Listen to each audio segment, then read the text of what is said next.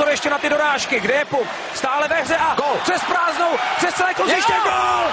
Gol! Přes celé kluziště! Češi vedou 3-0, čas 59-07.